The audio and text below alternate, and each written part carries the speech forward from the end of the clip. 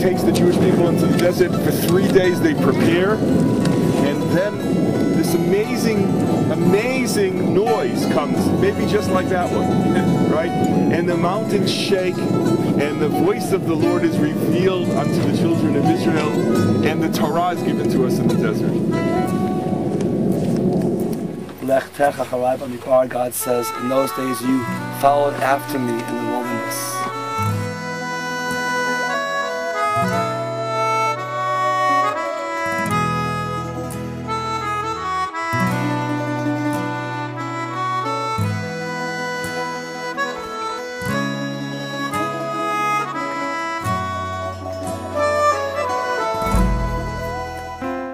my last trip to Israel, I came as a tourist.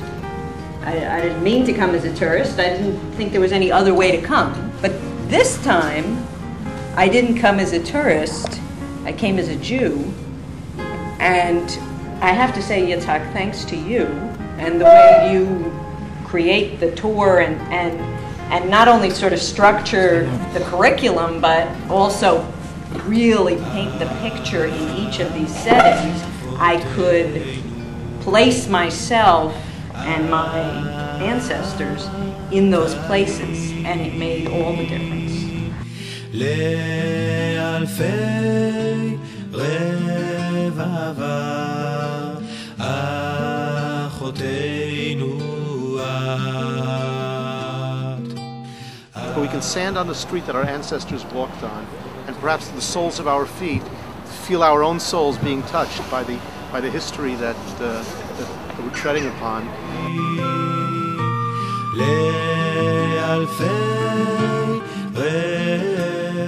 Just more than just a guided tour, it actually connects you with your Jewish heritage. It's where I choose to put my roots of everything I do in this land and in this people and in this in this state, in this city. And it'll be hard going back. Uh, What was it like going through the tunnel? It was better than all the water rides at Universal Studios. and we had an enjoyable family experience getting through. and they did made extraordinary efforts to bring a multi-generational tour from grandparents to a two-year-old to Israel and to see the people who live here to experience the life in the land and not just the landscape. So, so a generation would come, a generation would go, but this, for thousands of years, what they held on to was expecting to come back to Jerusalem. They're not home with their moms and dads. And, and they're here making it possible for us to stay in a hotel in Israel and to have a nice meal. And there really is, I mean, there really are rockets and guns pointed at them from 100 yards away. It's really very holy work that they do.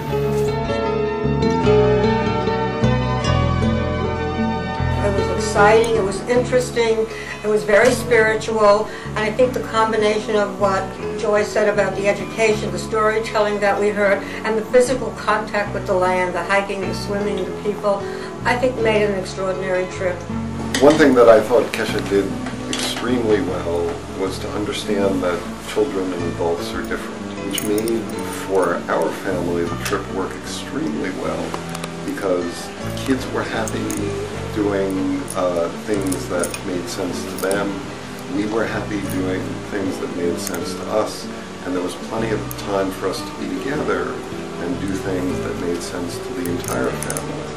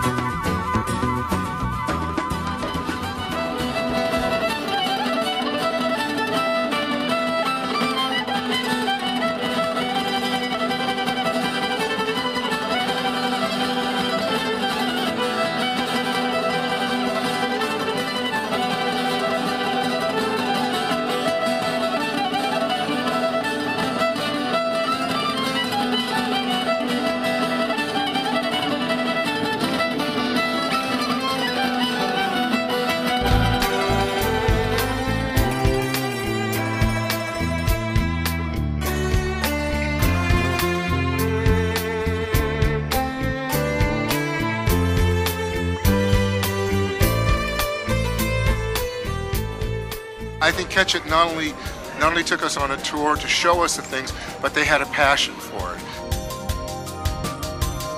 Ghajar is a village without a country because it's a Syrian village, but Syria is now about 15 miles that way. And in between, there's Israel. Whoopsie. Whoopsie, right? So what do you when- do? I hate it when that happens. That's right.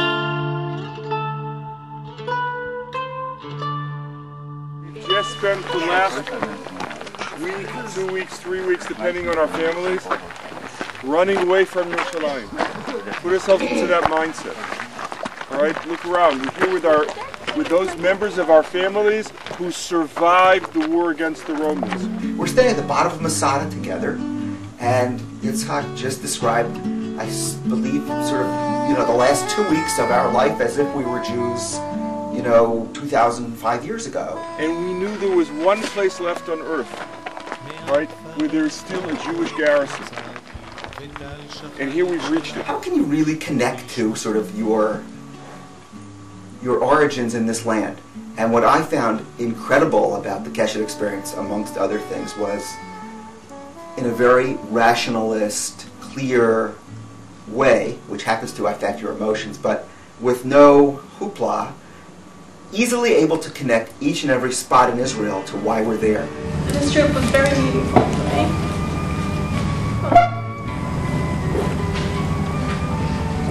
It opened a door, and this time it was wide open.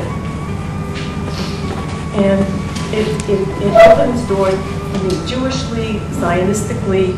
I learned so much. I, it's changed my life.